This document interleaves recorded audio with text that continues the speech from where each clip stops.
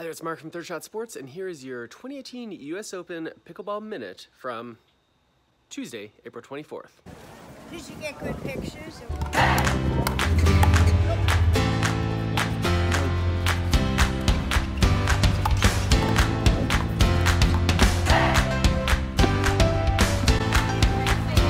It's here at a rain delay at the US Open.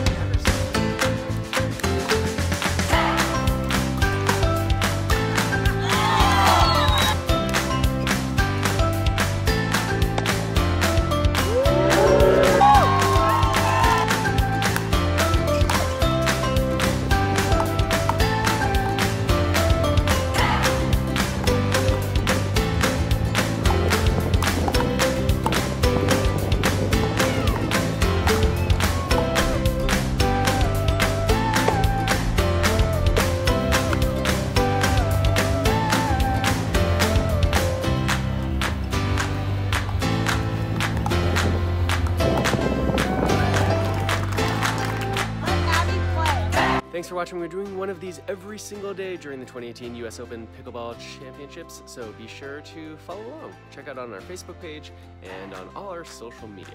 Thanks, as always, to our very good friends over at Selkirk Sport, who really make rain delays not so bad. See you soon.